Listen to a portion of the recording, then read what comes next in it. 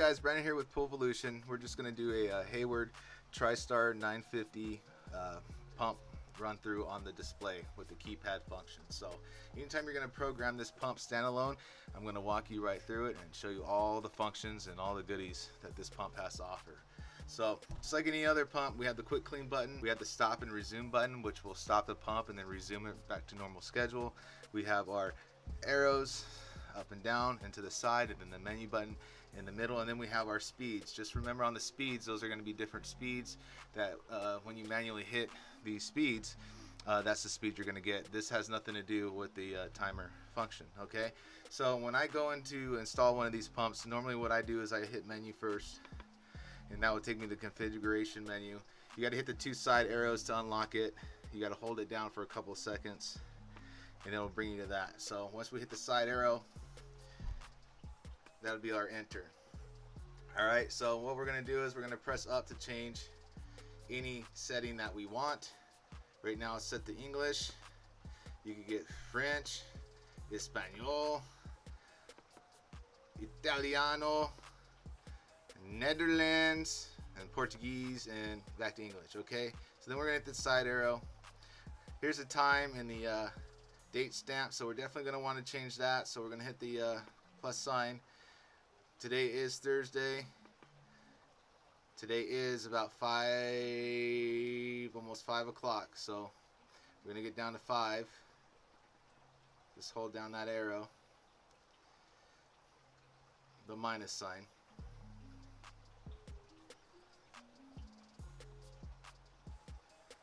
And we'll take it to five alright hit the uh, side arrow.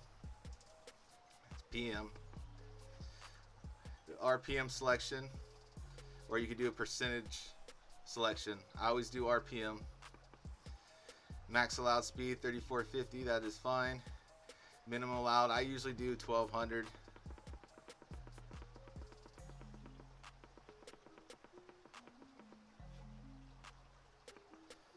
Now the prime duration, I never let it prime for eight minutes unless you guys really need it to do that.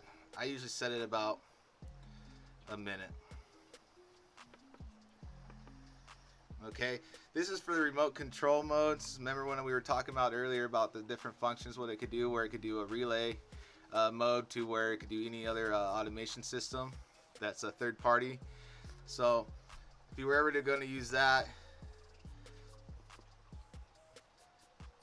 you would hit the uh, down minus button and it would go down the relay control and that's when you're going to use that third party automation where you're going to use the uh, onboard uh, communication that's inside this drive here to where you're going to use uh, up to one two three how many other relays you got available but you're going to need at least one relay available to get one speed. So if you want more than one speed you need two relays available. So that's what is that for. So we're going to leave it in standalone mode. Low temp operation that is basically for your freeze control you ever need it if you're in a climate area where uh, you have freezing temperatures you can enable this and the pump will run when it gets cold enough.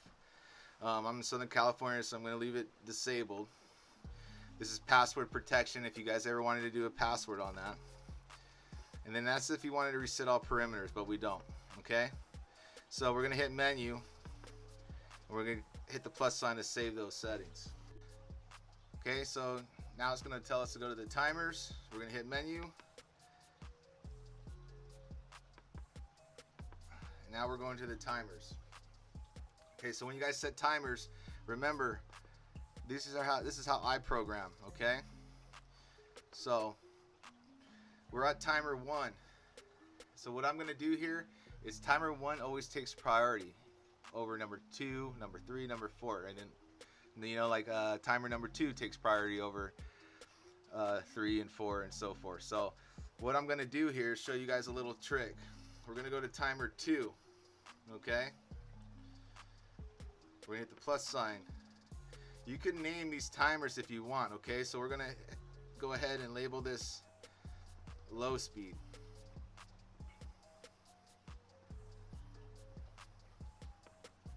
Okay then we're gonna hit this side arrow.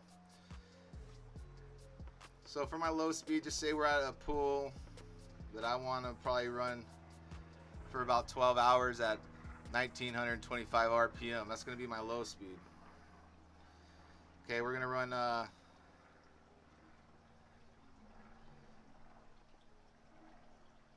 we're going to run 8 a.m. to 12 a.m. I'm sorry, 8 a.m. to 8 p.m. That's going to be 12 hours. And we're going to say this is like a uh, 25 to 27,000 gallon pool.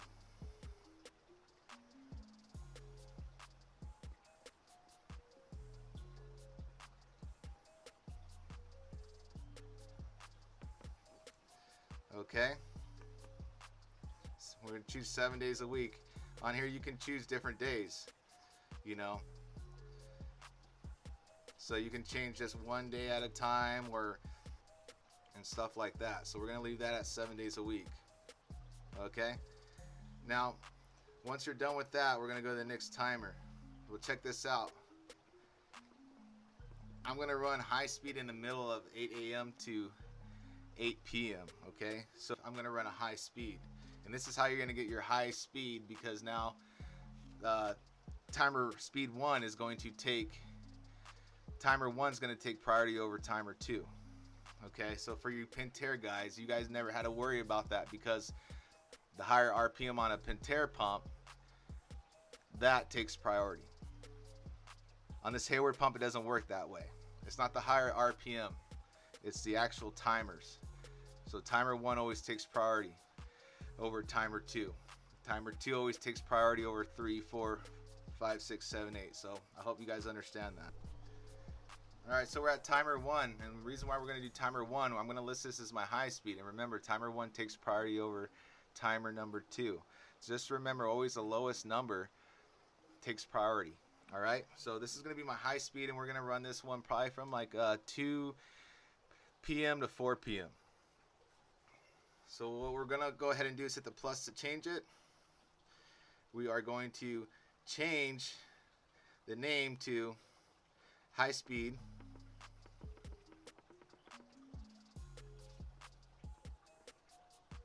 okay hit the side arrow on this we're gonna run this pump probably about 3150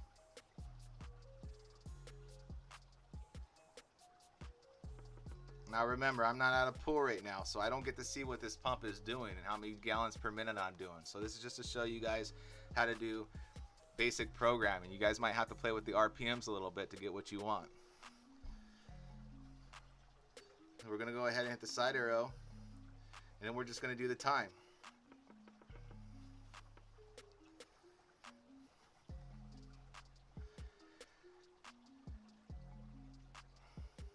If you hold the button down, it's a lot faster.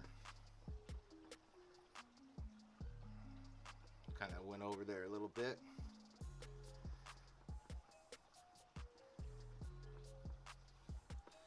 Okay, side arrow.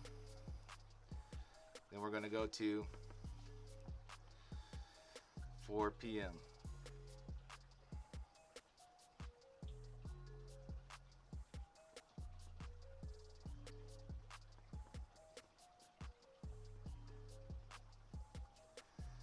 Side arrow.